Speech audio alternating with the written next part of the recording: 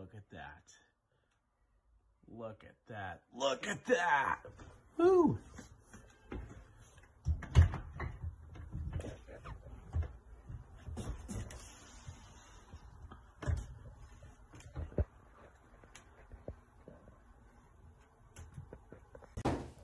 All right, guys. And Fun here with Bretsky. Uh, having a few beers tonight. Cheers. Cheers. And I decided to make a Bannock pizza.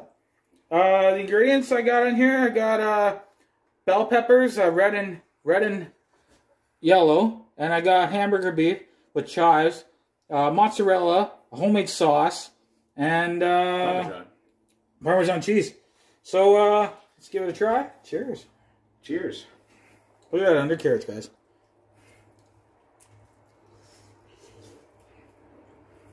Oh, that's cheesy. Okay. That was pretty good. That was really good. Um, try some of the crust. Oh, you can hear that crunch. Wow. that's a 10 out of 10 crunch factor right there. Uh, yeah, no, that's, uh, I just got bored today and said, hey, let's make a Bannock pizza. Something simple. That is packed with flavor. Um, I don't know, the seasoning on the beef is good. The cheese is perfect. And Parmesan added on there. It's freaking looking good. Brett, what's your, uh, since you're the guest, what's uh, your score? Yes, even though it's my place. Uh, 8.5 out of 10. 8.5 out of 10. Uh, um, I don't know. I'm, a, I'm, I'm unbiased or whatever, whatever you want to, how the fuck you ever use that term. Um, I'm going to give it an 8.7.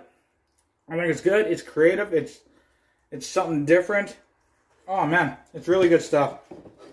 You guys need to come by one of these days and try this. Just look at that. That at is cheese. thick. Oh yeah, two layers of cheese. But all right. You guys have a great Friday. Cheers. It's been a slice. Happy Halloween. There you go.